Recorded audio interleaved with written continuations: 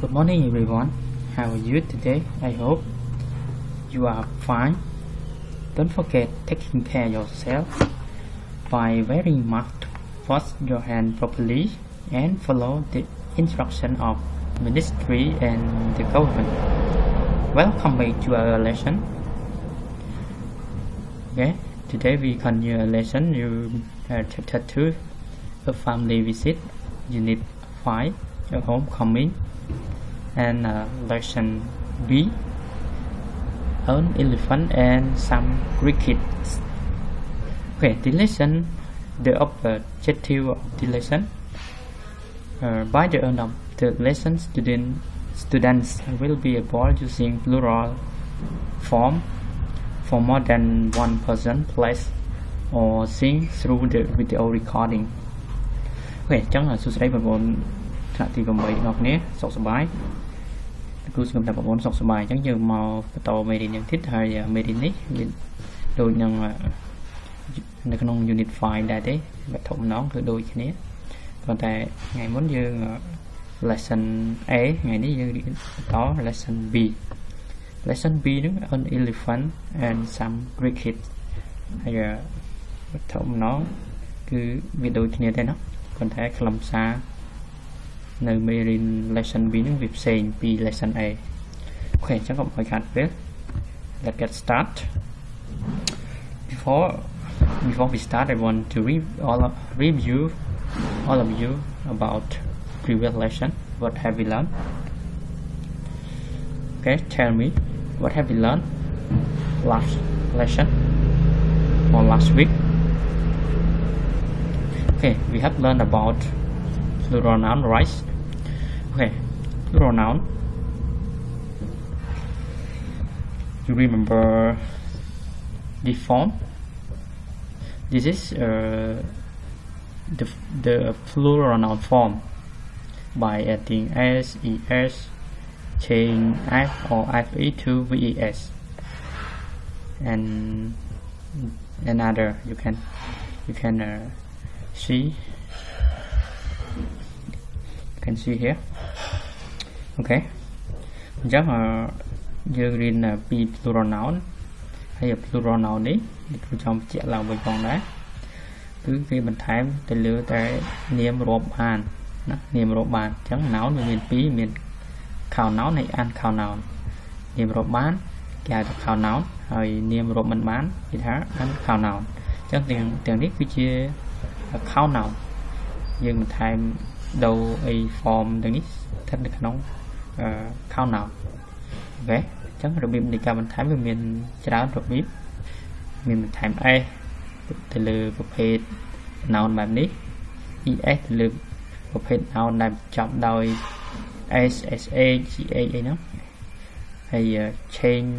f ឬក៏ fe ទៅលើ noun ដែលបញ្ចប់ទៅដោយពួកនេះ OK គឺសង្ឃឹមថាបងប្អូននឹង ចាំបានហើយយល់កន្លែងហ្នឹងហើយផ្សេងផ្សេងទៀតបងអាចមើលតាមនឹងបាន noun ដែលមិនចប់កន្លែងនេះ noun noun uh, noun earns in vowel plus y វាចាស់ s a អញ្ចឹងនាមដែលបញ្ចប់ទៅដោយ vowel ស្រៈបូកជាមួយ y ឧទាហរណ៍ day នេះ day ay នេះយើងថា one day ទៅជា two day ទៅជា plural គាត់តែថែម s មកណា okay hãy person bound now, that earn in consonant clockwise consonant clockwise means okay look at example city one city t and clockwise so t chuyển trên đó y. chẳng là đặc biệt two cities em giữ chành vái cái chữ a i mình đã có đầu y trên sân mình thấy mà đi có đầu y lũng vai cháu mình đã ai i ok. ហើយចំពោះ irregular noun មាននាមដែលមិនទៀងទាត់គឺបងមើលបានទេមាននាមដែលមិនទៀងទាត់គឺវាអត់មានត្រូវការថែម s ឬក៏ es ឬក៏អីទេគឺវាដូរទាំងស្រុងតែម្ដងដូចជា man ទៅជា min អឺ man ឬក៏ two min អញ្ចឹងមក one man មានតែប្រុសម្នាក់ពេលទៅជាប្រុសច្រើនអ្នកទៅជា two min អូខេវាដូររូបរាងអាហ្នឹងគេហៅថា irregular noun okay I hope all of you get off this ហើយយើងបន្តមកទៀតនេះចំណុចផ្សេងទៀតពេលនេះដូចមិនចឹង noun ដែល irregular noun វាបដូររូបរាងទាំងស្រុងមាន a man ទៅជា mean woman women child ទៅជា children food feed ហើយ tooth ទៅជា teeth goose ទៅជា goose Goose នេះសត្វសត្វកងានទៅពេលសត្វកងានច្រើន geese អូខេ mouse ទៅជា mice មកកដលកដលច្រើនទៅជា mice ដូររូបរាងអញ្ចឹងអូខេហើយចំណុចបន្ទាប់ទៀតដូចជាពាក្យនេះគឺអត់បដូរទេ no change នេះក៏បន្ថែមដូចមាន fish fish fish ហ្នឹង plural noun ទៅសេ fish មកវិញក៏បានដាក់ es ក៏បានឡើយនេះអូខេ không bị ọt ọt đồ nó bị trong gì không bị ọt đấu đã mấy đã trắng vào từ ra. Ship thì ship? Hay dear dear thì chị dear hay ờ, uh, mouse thì chị mouse cái ờ, uh, mouse nữa. Cái là sạc phở này moss. Thì chị mouse hay ờ, uh, dear cứ sạc cái đàn. Đấy. Dear hay uh, moss? សត្វប្រើសអូខេ aircraft នៅតែ aircraft ដដែលអញ្ចឹងនេះជា aircraft នេះជាយន្តហោះចម្បាំងហ្នឹងណា aircraft ហ្នឹងអូខេនេះជាពពុះ aircraft ហើយហ្នឹងវានៅតែ aircraft ដដែលអូខេចំណុចបន្ទាប់ទៀតអឺនោះចំណុចបន្ទាប់ទៀតគេថា If not earned in IS, we change it to ES. Verb that earn in IS usually have a quite uh, root. Chẳng kỳ thà bịa bịa ở gần nào là bịa đặt bịa nào là mình chọn từ đầu IS mình đây này này bịa này, này để mình chọn đời IS nó từ đồ IS tới chỉ IS về chọn từ ờ, form về từ chỉ plural ហើយគេប្រាប់បញ្ជាក់ទៀតថាពាក្យដែលបញ្ចប់ដោយ is ហ្នឹងភាគច្រើនហ្នឹងគឺមានដើមកំណើតមកពីប្រទេសក្រិចអូខេនេះពាក្យរបស់នេះគឺមកពីដើមកំណើតគឺមកពីក្រិចអញ្ចឹង analysis analysis analysis ហ្នឹងចាប់ដោយ is អញ្ចឹងវិភាគការវិភាគមួយ analysis ទៅពីការវិភាគច្រើនអញ្ចឹងការវិភាគច្រើនទៅជា plural មានន័យថាយើងលុប is ចោលដាក់ es ម្ដងណានេះនេះមើលមើល form គេហើយនេះមួយទៀតពាក្យផ្សេងទៀត bus basis ជា basis ដូចគ្នា basis basis អញ្ចឹង basis នេះមូលដ្ឋានគ្រឹះអីចឹងទៅមូលដ្ឋានគ្រឹះ basis មូលដ្ឋានគ្រឹះច្រើន crisis crisis crisis នឹងវិបត្តិណាវិបត្តិ về tới chỉ plural crisis. Ok gắn việc đầu ai ấy tới chỉ ie chẳng làm vón lại nó. Top tip ờ, người ta mất if the noun earn in US change it to I. Word that earn in US usually have a Latin root. Ok, chẳng kỳ thành nào đại bị trọng đời US change us ទៅជា i ណាចង់ form ទៅជា plural ទៅជាភពវចនៈហើយអាពាក្យហ្នឹង US ហ្នឹងគឺមានដើមកំណើតនៅ Latin ណាទេ Latin ហ្នឹងអូខេឥឡូវយើងមើលពាក្យនេះអឺអឺ cutters cutters ទៅជា cut tie អូខេ cutters ទៅជា cut tie cutter នេះ ដំបងយក្សដើមដំបងយក្ស cactus ណាពេល cactus singular noun ទៅពេល plural noun ទៅជា cut tie cut ties cut tie មានដើមដំបងយៈច្រើនអូខេ fungus អូខេ fungus fungus នេះ fungus យកន័យជាខ្មែរមានតែពពុះផ្សិតនេះដូចជាពពុះផ្សិតដើមឈើអត់អត់ស្លឹកវា fungus ទៅពេលវាទៅជា plural plural វាអាចទៅជា fungi អឺ fun fun ចាយ fun guy ឬក៏ fun fun ចាយ fun ចាយបងប្អូនអាចប្រើមួយណាក៏បានដែរ fun v fun ចាយឬក៏ fun ចាយ fun fun guy ឬក៏ fun ចាយអញ្ចឹងបងប្អូនអាចអានមួយណាក៏បានដែរប៉ុន្តែរបៀបសរសេរគឺគឺដូរគឺដូរ ចេញគឺ US ទៅជា I អូខេអញ្ចឹងយើងមើលពាក្យបន្តទៀត stim stimulus stimulus ទៅជា stimuli stimuli អញ្ចឹង stimulus ហ្នឹងមានការជំរុញលើកទឹកចិត្តការជំរុញលើកទឹកចិត្តឬក៏ចំនួនអីចឹងទៅ វាមានន័យច្រើនមកជាខ្មែរណាទៅតាមប្រយោគដែលបងអូនអឺប្រើប៉ុន្តែអ្វីដែលសំខាន់បងអូនចំណាំទៅឲ្យតែ noun ដែលបញ្ចប់ដោយ us ពេលបងអូនចង់ form ទៅជា plural noun គឺ change ពី us នឹងចេញទៅជាថែមតែ i មកណាច់មើលឧទាហរណ៍នេះអញ្ចឹងមើល noun ទាំងអស់នេះគឺតែបញ្ចប់ទៅដោយ us ពេលបដូរទៅជា plural noun us ចេញដាក់ i អូខេគឺចង់បង្ហាញបងប្អូនតទៅនឹង pronunciation of s ការបញ្ចេញសំឡេងនៅពេលដែលថែម s ឬក៏ es ហ្នឹងអញ្ចឹងវាមាន sound 3នេះអញ្ចឹងដូចពពុ noun ដែលចាប់ដោយ c ដូចមានពាក្យ rest ណាបងប្អូន rest នេះពេលបងប្អូនថែម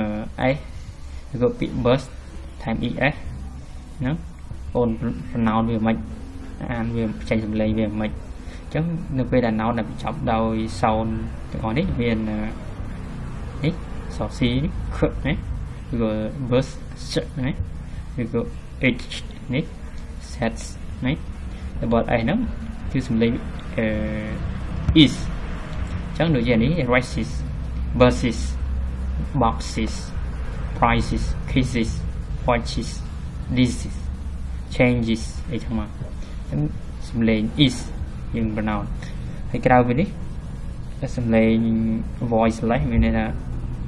ពាក្យដែលបញ្ចប់ដោយពពុះនេះ voiceless នេះមាន p k t f នេះហើយនេះអឺអក្សរពពុះនេះគឺគាត់ចេញសំឡេងអឺធម្មតាមកសំឡេង s ចឹងមក Ờ, uh, sleeps chẳng mà phần tay phụ nít phụ vói ờ, chọc đời phụ phụ sò thằng nít chẳng. Grapes grapes grapes. Chẳng mà ok chẳng uh, trong một chữ lại. Thì là với nhân ờ, pronunciation. Tại thằng ấy nó về miền bay bay sầm lấy với miền is hay năng nắng sao nữa lắm. ចឹងភាគច្រើននេះបងប្អូនក៏សម្គាល់កន្លែង es នេះដែលគេបន្ថែមអញ្ចឹងបងប្អូនត្រូវចេញសំឡេងអញ្ចឹងបងប្អូនចំណាំឡើងហ្នឹងខ្លួនណាអូខេអញ្ចឹងបន្តមេរៀនយើងអញ្ចឹងអញ្ចឹងយើង unit unit 5 ở homecoming and lesson B earn 11 and some cricket objective ដដែលទេអញ្ចឹង look at number 1ពីថាម៉េច number 1 Uh, look at the pictures of the things Sam and his family did on their visit to Phnom Penh. How many of these things have you done or visited? Tell your partner. គេឲ្យមើលមករូបភាពនៃមើលរូបភាពរបស់សំហើយនឹងគ្រូសាស្ត្ររបស់គាត់បានធ្វើអំឡុងពេលដែលគាត់ទៅលេងភ្នំពេញ ហើយថាតើរូបភាពទាំងអស់ហ្នឹងរូបភាពដែលបងអូនឃើញហ្នឹងប្រហែលរូបភាពដែលបងអូនធ្លាប់ធ្វើដែរធ្លាប់បានលេងធ្លាប់បានមើលអីចឹងណាគឺក៏ធ្លាប់បានទៅលេងប្រាប់មិត្តភក្តិយើងអញ្ចឹងស្អីគេមួយនេះដើម្បីដឹងពីសកម្មភាពនៃរូបភាពនីមួយៗទៅអញ្ចឹងអឺ eating tarantulas eating tarantulas tarantulas សត្វពីរ ចឹង uh, what is he doing he is eating tarantulas and uh, this picture uh, central market central market សាធំថ្មីឬក៏ភាសាថ្មី and this silver pagoda silver pagoda ហ្នឹងព្រះវិហារព្រះកែវមរកតនៅក្នុងទីក្រុងភ្នំពេញមាន and uh, post office post office ការិយាល័យប្រៃសណី and cyclo cyclo ណាចឹងនេះគឺជារូបភាពដូចជាសកម្មភាពខ្លះខ្លះដែលគ្រូសារបស់សំហើយនឹងសំហើយនឹងគ្រូសាសំទៅលេងនៅភ្នំពេញ Okay I hope you got your answer តើបងអូនបានបានធ្លាប់ទៅលេងកន្លែងអស់ហ្នឹងនេះធ្លាប់ទៅលេងធំថ្មី Hall Office Silver Pagoda Eating Tarantula ឬក៏ Cyclo Cyclo អូខេអញ្ចឹងគ្រូសម្រាប់បងប្អូនមានចម្លើយរៀងខ្លួន uh, let's continue number 2 some send a postcard to his friend Ken in Japan quickly uh, quickly read What he wrote to him what does he want Ken to do អញ្ចឹងគេឲ្យអឺគេប្រាប់បងថាទី2សំហ្នឹងបានផ្ញើ postcard សម្បត្តិនេះ postcard សម្បត្តិហ្នឹងទៅមិត្តភ័ក្តិរបស់គាត់កែននៅឯជប៉ុនគេឲ្យបងអានឲ្យលឿនហើយថាតាសំអឺទៅសេអី ទៅទៅទៅមិត្តភ័ក្តិគាត់ហ្នឹងហើយតើគាត់នឹងចង់ឲ្យកែនធ្វើអីចង់ឲ្យមិត្តភ័ក្តិគាត់ធ្វើអីសំអូខេអញ្ចឹងអឺលោកគ្រូមាន vocab ប្រមាណនេះនៅក្នុងអត្ថបទនេះសម្រាប់បងអញ្ចឹងនេះ cousin cousin នេះអឺបងអាចមើលបានពាក្យនេះនៅក្នុងអត្ថបទនេះទេណា អញ្ចឹង cousin បងប្អូនជាដូនមួយ side side នេះចាក់កោវិស័យ side ម្ដងទៀត cousin side royal palace royal palace silver tail silver tail glinter glinter glin uh, glitter glinter okay statue statues cyclo 2 cyclo 2 cyclo 2 monument monument insects insect okay grasshopper grasshopper crunchy crunchy cross cross mushy mushy music musician musician above above attend uh, traditional festival traditional festival អូខេចឹងបងអាចមើលបានតោះឥឡូវលោកគ្រូអានស្ដាប់សារតោះអូខេចឹងគេថាម៉េច Dear Glenn greeting from Cambodia I'm visiting my cousin and other family members with my mom and dad we have seen many sights since arriving three days ago my mom says that Phnom Penh is changing quickly we started at the Royal Palace. My favorite part was the Silver Pagoda. The floors are covered with 5,000 silver tails, and there are glittering gold and diamond statues all around. We took a cyclo tour and saw some of the buildings and monuments that I can see from my bedroom window. We rode around the post office and the many different wards in Phnom Penh. Ending at Central Market where we had lunch, my mom went crazy when she saw a cart full of insects. With things like grasshoppers uh, termites and ants she bought a brick of crickets she bought a, a bag of cricket some grasshopper and three tarantulas I liked the, the cricket they were crunchy and a little like popcorn. I ate a tarantula, but it was gross and mushy in my mouth,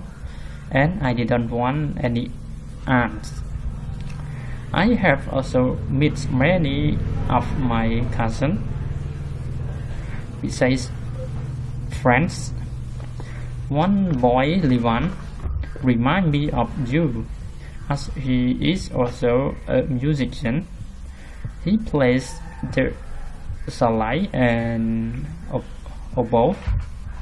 I think you should come to Cambodia and meet him so you can play some song together. That's all for now. Next week we are going to the countryside to visit my grandmother and attend a traditional festival. Your friend song. Okay, that's it. នេះជាតម្រងនៃ post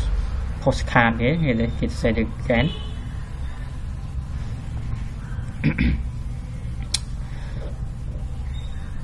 ទៅកែនអូអញ្ចឹងអឺបងអាចមើលពីអត្ថន័យជាខ្មែរមកខ្លួនឯងចឹងលោកគ្រូសង្ឃឹមថាបងប្អូននឹងនឹងយល់ពីអត្ថន័យគេចង់និយាយពីអីដោយសារមានពាក្យ vocab នៅខាងនេះហើយបងអាចរៀនប្រែអត្ថន័យនឹងខ្លួនឯងធ្វើមិនចាំបាច់ចេះគ្រប់ពាក្យក៏យល់ពីអត្ថន័យទៅបានដែរណាហើយ greeting greeting សូមស្វាគមន៍ពីប្រទេសកម្ពុជា ខ្ញុំអីហ៎ I am visiting my cousin ខ្ញុំអឺកំពុងទៅលេងណាបងប្អូនដូនមួយរបស់ខ្ញុំហើយនឹងគ្រូសាមកជិកគ្រូសាផ្សេងទៀតជាមួយម្ដាយហើយនឹងឪពុករបស់ខ្ញុំអីចឹងទៅណាគេសេប្រាប់ទៅមិត្តភក្តិគេនៅនៅជប៉ុនកែនហ្នឹង Okay that's it number 3 read again and answer the questions in your notebook អញ្ចឹងគេឲ្យបងប្អូនអានម្ដងទៀតហើយឆ្លើយសំណួរនេះដាក់ចូលក្នុងសៀវភៅអូខេចឹងលោកគ្រូគិតថាបងអូនឬក៏សន្មតថាបងអូនបានអានហើយណាអញ្ចឹងសំណួររបស់គេគេថាម៉េច How long has Som been in Phnom Penh How long has Som been in Phnom Penh ពីពីភ្នំពេញតើសំទៅភ្នំពេញអស់រយៈពេលប៉ុន្មានថ្ងៃហើយអូខេ number 2 what has gold and diamond statue what has gold and diamond statue តើអីតើអ្វីដែលមានមាសហើយមានពេជ្រនៅក្នុងអីរូបសំណាក់រូបសំណាក់នោះ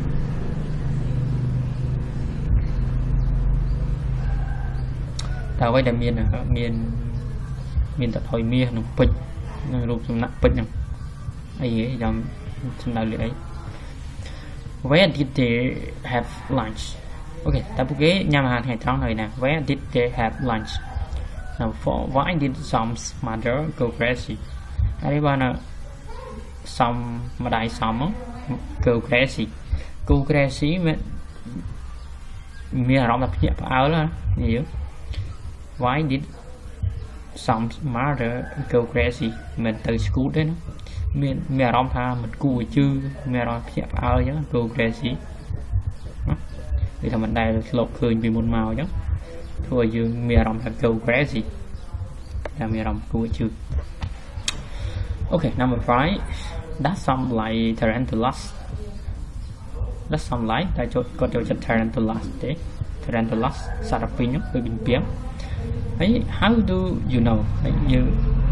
យើងដឹងអត់ថាសំចូលចិត្តអត់ tarantulas ហ្នឹងហើយមកដឹងតាមវិធីណាមិនវិញអត្ថបទគេនិយាយថាម៉េចបានថាបានយើងដឹងអូខេ number 6 who has who has he met who has he met តើគាត់បានជួបណាគេក្នុងនៅផ្សារនោះ number 7 when are they going to the countryside តើពួកគេទៅ countryside នៅពេលណាអូខេ ចឹងលោកគ្រូសង្ឃឹមថាប្រមុននោះមានចម្លើយ ចឹងលោកគ្រូសូមបង្ហាញចម្លើយត្រួសត្រាសខ្លះទៅចឹង number 1 Sam has been in Phnom Penh for 3 days number 2អីគេដែល goal មាន goal ហើយនឹង diamond statue នោះគឺ silver pagoda គឺនៅវត្តហ្នឹងមាននៅព្រះវិហារកែវមកគាត់ហ្នឹងគឺ silver pagoda ហ្នឹង uh, they have lunch at central market number 4 seashore a full a cart full of insects ចឹងសំណួរទី4នេះ why did some mother go crazy គឺដោយសារគាត់ឃើញប្រទេសដែលពោពេញដោយសត្វល្អិត insects សត្វល្អិតអឺសត្វល្អិតនេះដូចជាកាដូបដូចជាចង្រិតដូចជាមេភ្លីងខ្ញងអីហ្នឹងណានេះសម្រាប់ពពួក insects ហើយចឹងដល់ពេលគាត់ឃើញរថទេសនៅភ្នំពេញគេដឹកដើរលក់គេរុញដើរលក់មានអឺច្រើនប្រភេទច្រើនមុខហ្នឹងគាត់ ven Grassy gật câu Grassy còn mình rồng đặt mình cũng chưa nhập vào thả nên thì nhầm thì ấy chẳng đó về number five, is to make uh, does some ờ, like tarantula. Nhưng nói no she doesn't. Uh, he said it was gross and mushy, gross and mushy nó vì đôi thà lại nó cái trong dây thảo vịt. Vì uh, វាវាអឺពេលយើងអត់ចូលចិត្តអីមួយទៅយើងមានអារម្មណ៍ថាតលន់ឬក៏ឆ្អើមឆ្អើមអញ្ចឹងណាអា goose កន្លែងនេះមានថាតលន់អត់ញៀវអត់មានអារម្មណ៍ថាអត់ចូលចិត្តណា goose and mercy គាត់អត់អត់ចូលចិត្ត tarantula ហ្នឹងទេវាដូចញើតញើតអីចឹងណាមានអារម្មណ៍ដូចមិនអត់អត់អត់យើងធម្មតាយើងអត់ចូលចិត្តញ៉ាំអីមួយពេលយករបស់ហ្នឹងមកឲ្យយើងសាក់ទៅដូចយើង មានអារម្មណ៍ថាដូចអត់ស្នុកខ្លួនអត់ស្រួលខ្លួនមានន័យថាចៅចៅអញ្ចឹងណាអូខេយើងដឹងដោយសារគាត់និយាយអញ្ចឹងអូខេ number 6អឺគាត់ជួបបានជួបណាគេគឺ he has met Livan អូខេ number 7 uh, they are going to the countryside on next week ចឹងសប្តាហ៍ក្រោយបានគេទៅ countryside countryside ជនបទ okay. Okay, that's it. Number three. Number four. Number four, look at the chart and complete the sentences below. Chúng ta mười màu chart, mười màu mười màu tùm ruộng chart ấy, chart này tùm ruộng này, cloud hay giống ờ, hỏi một pin ví dụ ví dụ hàng rào này. Five sentences are there ដើម្បីបំពេញឆាតបានធ្វើបងប្អូនយល់ហ្នឹងគេមាន earn some any បងស្គាល់ earn some any ទេអញ្ចឹង earn some any គេប្រើនៅខាងមុខសម្រាប់សរសេរនៅខាងមុខនាមណានៅខាងមុខនាមដើម្បីបញ្ជាក់ពីពីបរិមាណនាមហ្នឹងប្រមាណអីចឹងទៅអញ្ចឹង earn គឺបញ្ជាក់បរិមាណនាមហ្នឹង1ចំនួន1គាត់ថា អឺនេះគេប្រើនៅខាងមុខនាមដែលអឺផ្ដើមដោយផ្ដើមដោយស្រៈណានាមនៃផ្ដើមដោយស្រៈវាថា apple apple អូន spell apple មក apple គឺ a ណា a double p អញ្ចឹងមក le អញ្ចឹងអឺផ្ដើមដោយអក្សរ a អញ្ចឹងបងអូនចង់និយាយថា apple មួយគឺ e នៅ apple អញ្ចឹងដែរនៅ e apple អូខេអញ្ចឹងអញ្ចឹងម្ដងទៀត e ហ្នឹងគឺ បញ្ជាក់ពីបរិមាណនាមតែមួយគាត់ថា earn ប្រើនៅខាងមុខ noun ដែលផ្ដើមដោយស្រៈសរសេរផ្ដើមដោយស្រៈអូខេអូខេ some here any some here any ប្រើនៅអឺប្រើជាមួយនាមចាក់ពី2ឡើងទៅ some គេប្រើនៅក្នុងប្រយោគស្របហើយហើយអឺ any គេប្រើនៅក្នុងប្រយោគសំណួរហើយនឹងប្រយោគបដិសេធម្ដងទៀតសាំហើយនឹង any គេប្រើបញ្ជាក់ពីបរិមាណនាមនោះចាប់ពី2ឡើងទៅពីច្រើនចាប់ពី2ឡើងទៅសាំគេប្រើនៅក្នុងប្រយោគស្របហើយ any គេប្រើនៅក្នុងប្រយោគបដិសេធហើយនឹងប្រយោគសំណួរអូខេនេះនៅក្នុងនេះគេបានបញ្ជាក់ប្រាប់អូនដែរនេះ uh, is used when a noun start with a consonant sound អញ្ចឹងអឺហ្នឹងគេប្រើជាមួយ noun ដែលអឺផ្ដើមដោយសូរសំឡេងអញ្ចឹងជានេះឧទាហរណ៍ថា a dog book a fish អញ្ចឹងទៅ earn use with uh, use when a noun start មានតែចាប់ផ្ដើមពីសំឡេង vowel ស្រៈនេះ an apple an hour an eggs អូនមើល an hour បន្តិចមកមិន នៅខាងផ្ដើមដោយអក្សរ x មិនក៏ដាក់ earn មិនដាក់ដោយសារ hour នេះយើងមិនមិនអានមិនអាន hour អញ្ចឹងអក្សរ x នេះវាអត់មានខ្យល់ទេអត់មានសំឡេងទេគេហៅ silent letter អញ្ចឹងគេគេមិនបានរាប់ថានេះទេគេមិនបានរាប់ចូលថាវាផ្ដើមដោយអក្សរ h ឬក៏គេមិនបានរាប់ចូលថាវាផ្ដើមដោយជនជាតិហ្នឹងគឺ hour hour ចាប់ពីអក្សរ o o គឺស្រាក់អញ្ចឹងគេដាក់ earn hour អូខេ ប៉ុណ្ណឹងមកសាមវិញសាម is used in a positive sentences អញ្ចឹងសាមគេប្រើនៅក្នុងគ្រប់ប្រយោគដែលស្របប្រយោគស្រប example I have got some cookie អញ្ចឹងថាបុក question គេថាករណីបើគេប្រើជាលក្ខណៈ question អឺលក្ខណៈ express request ជាលក្ខណៈស្នើសុំសំណុំពរស្នើសុំឬក៏សំណុំពរនេះប្រយោគសំណួរគេប្រើបានទេ ជាលក្ខណៈសំណុំពរឬក៏ស្នើសុំយ៉ាងម៉េច Would you like some fish អឺនេះយើងស្នើស្នើសុំទៅនរណាម្នាក់ឬក៏ស៊ូនរណាម្នាក់អីសំណុំពរណាតើតើអ្នកញ៉ាំឬក៏ថាអ្នកចូលចិត្តត្រីទេ would ផ្ដើមដោយ would ហ្នឹងគឺលក្ខណៈសំណុំពរគេស្នើសុំគេ would you like some fish would you like some fish តែអ្នកឯង Ờ, nhằm try out here rồi go can. Can I have some yeah, some fries. Thấy không ạ can I have some fries?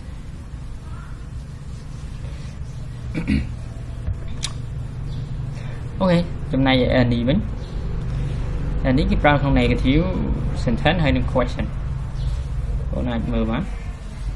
uh, I haven't got any. I haven't got any extra pen អឺហើយ general question នេះ general question មានសំណួរទូទៅភាគច្រើនមិនដូចនេះបែបសំណុំពរហើយនឹងស្នើសុំទេណា request ហើយ offer ទេអានេះគេប្រើទូទៅ did you eat any great kids អញ្ចឹងបន្ទាប់ពី any ហ្នឹង crickets add s crickets តែគេប្រើវានៅក្នុងប្រយោគសំណួរអូខេ are there any uh, sodas uh, left OK អញ្ចឹងម្ដងទៀត a an ប្រើបញ្ជាក់ពីបរិមាណនាមដែលមានតែមួយអឺននេះប្រើនៅខាងមុខនាមតែមួយដែរប៉ុន្តែផ្ដើមដោយសូរសំឡេងស្រៈអូខេគឺសូរសំឡេងស្រៈណាអឺនសាមហើយអនេះប្រើ បញ្ជាក់ពីបរិមាណនាមចាប់ពី2ឡើងទៅមានច្រើនហើយឡែកសាមវាប្រើនៅក្នុងប្រយោគស្របហើយបើចង់ប្រើជាសំណួរគឺលក្ខណៈ request and offer មានស្នើសុំឬក៏សំណុំពរអាសំណុំពរហ្នឹងគឺផ្ដើមដោយ would you like នេះសំណួរដែលលក្ខណៈជាការស្នើសុំឬក៏សំណុំពរហ្នឹងគឺ would you like ឬក៏ can នេះណាលក្ខណៈ request and offer យកសំណួររបស់ request and offer មានមាន would you like ហើយ can អូខេហើយ any ប្រើនៅក្នុង negative and question មកឥឡូវមកពេញប្រយោគមក I ate I ate great uh, Greek kids Greek kids អញ្ចឹងបងអូនពេញអឺអូនសាមអេនេះគិតតិចមើលដើម្បីពេញបានបងអូនមើលមើលយក យកអីគេណាអូខេយកអីវាមាន not អត់នេះមាន not ដូចគេទេនេះលេខ3វាមាន not នេះ did didn't នេះអញ្ចឹងហើយយើងមើល noun ទៀត Greek kid ហ្នឹងអឺ Greek kid singular ឬក៏ plural យើងមើលទៀតហើយយើងសម្គាល់វាមិនដឹងថា singular ឬក៏ plural បើយើងរៀនខាងលើមកហ្នឹងអញ្ចឹង Greek kid វាមានអីមាន s មែនអត់អញ្ ចឹងកាលណាមាន s គឺមានតែ Greek kid ច្រើនហើយចង្រិតច្រើនណាអញ្ចឹង យើងដាក់ត្រូវទេអត់ទេមែនអត់យើងដាក់អឺនមកណាអត់ទេមែនណាដោយសារអឺនគេប្រើជាមួយ noun តែមួយនេះ noun បញ្ជាក់ថា plural ហើយអត់ទេមែនអត់ឥឡូវគូប្រើអីចឹងមានតែ some ហើយ any ទេអញ្ចឹងយើងដាក់ any ក៏អត់ដែរគេថាមួយដាក់ any គេថានៅក្នុង negative ឬក៏ question អញ្ចឹងប្រយោគហ្នឹង negative អត់ gọn đây nó cứ chẳng gọi anh đại đi cả đây. Chẳng đánh cát cứ sàm ok. Chẳng gọi nó nghiệp liền mười dòng đó. Ok, rồi một thứ we took took cyclo two. Took cái gì? Cyclo two. Took cái gì? Một cyclo two. Chẳng we took some cyclo two any cyclo two. Mình nữa. Okay outside flow two, and number three, I didn't want. Nếu chơi biểu dụ cái I didn't want. Hay dữ hay dữ mưa nào được hàng rồi à à nó mán. Cái đó nó nó đại cái sám được cái em ấy là nó ok. Any là sáng đi đó nếu ví dụ bạn sai okay number 4 I saw monument and old buildings monuments and old buildings ចឹងសហើយមើល monument monument វាមាន monument ប្រហែលយើងមើលមកតែមួយឬក៏ច្រើនយើងមើលមើលមានអីទេចឹងអាមានអីហ្នឹងគឺបញ្ជាក់ថាច្រើនឬក៏តិចណាហើយ old building យើងមើល building ហ្នឹងមានអីទៀតចឹងវាច្រើនហើយជាប្រយោគអីយើងមើលមើលយើងស្រប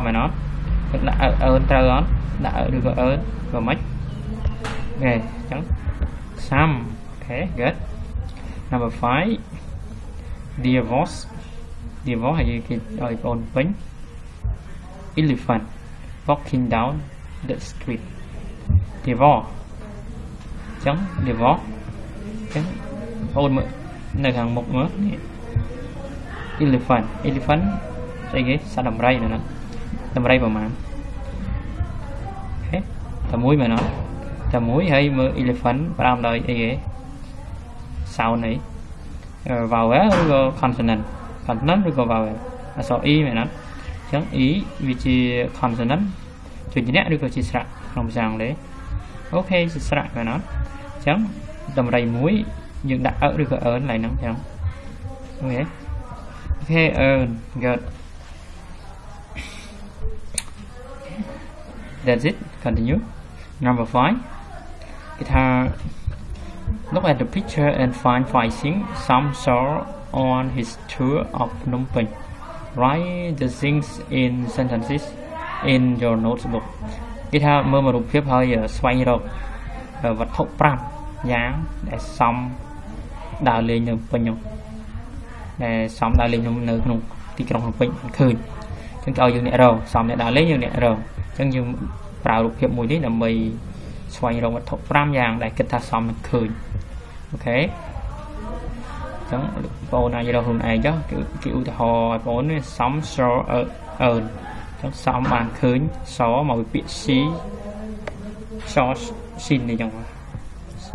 សមកពាក្យ C ដែលដែលសារគេប្រើជាលក្ខណៈ past simple past simple ទៅជា C ទៅជាសចឹងបានឃើញសំបានឃើញអឺអឺមានថាអីគេមួយ ចឹងមកសសាំបានឃើញអីគេច្រើនតែនេះមក again what did what did done some ស៊ីថាសំមិនបានឃើញអី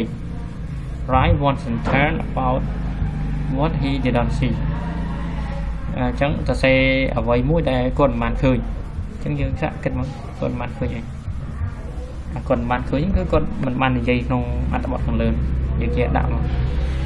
អូខេដាក់ត្រូវតាម form វាផង អញ្ចឹងលោកគ្រូឧទាហរណ៍ថាគាត់ some short ខាអញ្ចឹងតែនេះមានឡាន edit អឺ some saw some tree អញ្ចឹងតែឃើញតាមឈើចំនួនអញ្ចឹងទៅអឺ saw cyclo 2អញ្ចឹងណាឃើញអី cyclo 2តា edit សវត្តភ្នំអញ្ចឹងទៅនេះវត្តភ្នំឃើញវត្តភ្នំ some people ណាឃើញមនុស្សណានឹងគ្នាអញ្ចឹងទៅអូខេអញ្ចឹងនេះជាអ្វីដែលគេចង់ឲ្យបងធ្វើព្រោះមិនមិនបានដាក់អ្វីដែលសមមិនបានឃើញអញ្ចឹងបងប្អូនទៅសេដាក់ខ្លួនឯងដាក់អីដែលមិនបានរៀបរាប់ក្នុងអត្ថបទគឺត្រូវហើយណាអញ្ចឹងគំបងប្អូនអាចសរសេរវាឡើងវិញទៅជាប្រយោគ ពេញពេញមកក្នុងសភៅ Okay the last point write a postcard to your friend about a place then uh, that you have visited tell them about what you did and saw ចឹងគេឲ្យបងអូនសរសេរ postcard សរសេរសម្បត្តិដូចសមមិញហ្នឹងសរសេរសម្បត្តិដូចសមផ្ញើទៅកែននៅជប៉ុនហ្នឹងអឺដើម្បីផ្ញើយើងទៅសេប្រាប់មិត្តភក្តិយើង អំពីកន្លែងដែលយើងបាន visit បានទៅលេង tell them about what you did and saw ប្រាប់មិត្តភក្តិយើងនោះពីអ្វីដែលបងបានធ្វើហើយនឹងបានឃើញអូខេអញ្ចឹងសរសេរសមុទ្រពីកន្លែងដែលបងបានទៅបានទៅលេងបានបានឃើញហើយបានធ្វើ example នេះ example uh, the group that until one hello friend how are you today I am going to tell you about my last holiday. I visited, I visited my grandparents' hometown. I have been there for today. There are many interesting places at my grandparents' house. Ok, đó là cũng đã uh, số đây mình phải số đây mình phải ai chẳng đó. Sao các bạn như thế, nhóm 5 ngày 2 ปีเอ่อ កឯងអំពីការដើរកំសាន្តឬក៏ដំណើរកំសាន្ត holiday របស់ខ្ញុំ holiday របស់ខ្ញុំកាលពីមុនបាទ holiday មានកាលពីថ្ងៃឈប់សម្រាកមុនអញ្ចឹងខ្ញុំបានទៅលេងផ្ទះយាយតាខ្ញុំនៅស្រុកស្រុកណៅតខ្ញុំបានទៅនោះអស់រយៈពេល2ថ្ងៃណាហើយនៅនោះមានកន្លែងចាប់អារម្មណ៍ច្រើនណា There are many interesting places មានកន្លែងចាប់អារម្មណ៍ច្រើននៅនៅផ្ទះនិយាយតាមរបស់ខ្ញុំហ្នឹងខ្ញុំបានទៅលេង I went to a big garden មានសួនច្បារទៅខ្ញុំបានចូលទៅលេងនៅក្នុងសួនច្បារ in front of the house នៅមុខផ្ទះហ្នឹងមានមានសួនច្បារធំហ៎តែនិយាយតាមខ្ញុំ I saw many butterfly ខ្ញុំបានឃើញមេម៉ៅយ៉ាងច្រើនហើយក្នុងច្បារ However, behind the house there is a large there is a large benefit vegetable ground ground place ហើយចំណែកនៅក្រោយផ្ទះវិញមានមានចំការបន្លែយ៉ាងធំដែរណាមានចំការបន្លែយ៉ាងធំគឺដាក់ចុចមានមានទៀតចឹងទៅអញ្ចឹងបងអូនអាចសរសេរពីអ្វីដែលបងអូនអាចសរសេរបានតាមតាមហ្នឹងណាន្លែងណាមួយដែលបងប្អូនបានទៅលេងអីចឹងណា តែខ្លីមកមិនបាច់វែងដូចចឹងក៏បានដែរ Okay that's it Thank you for today Goodbye Good luck